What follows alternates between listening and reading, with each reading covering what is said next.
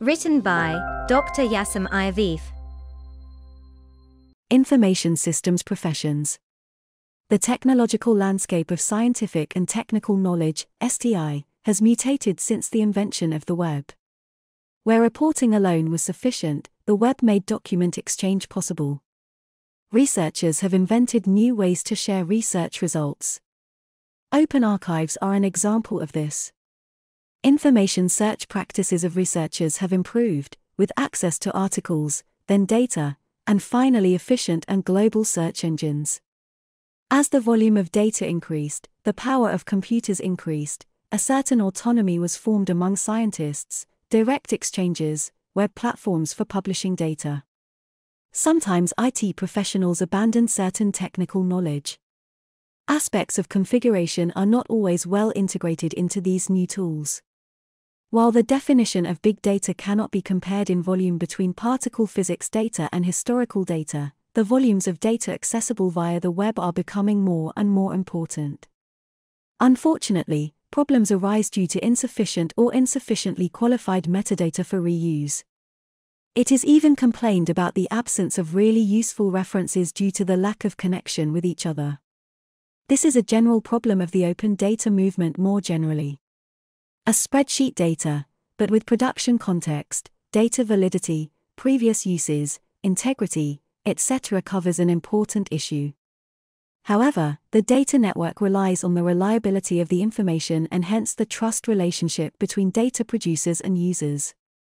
There is interdependence between data.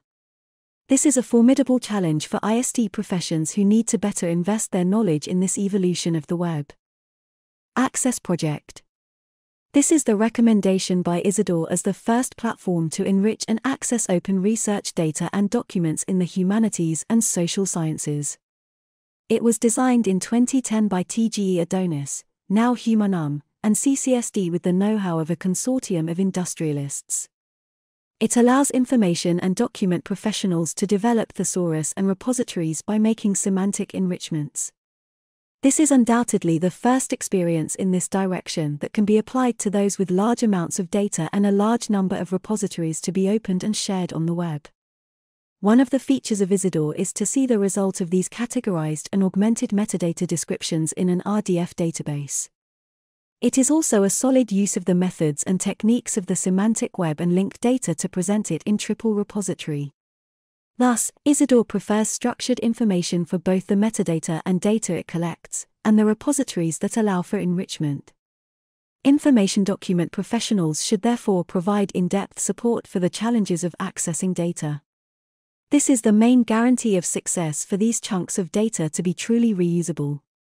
This provides contextualization of data, adding metadata, producing enrichments that make it possible to connect information, not just make it accessible.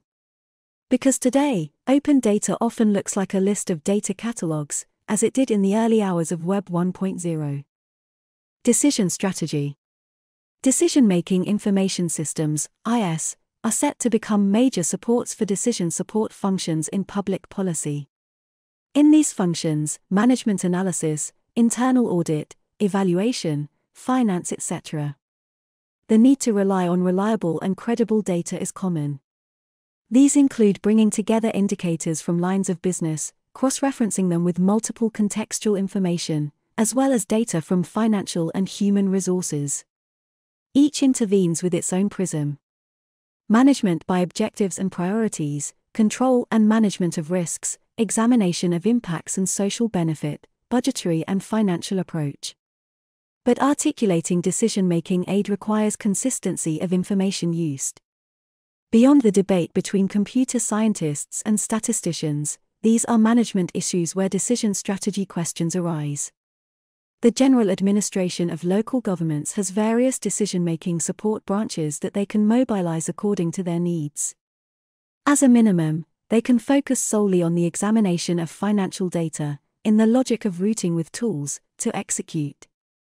In such an approach, the breakdown of public policy objectives is essentially a matter of corporate communications strategy.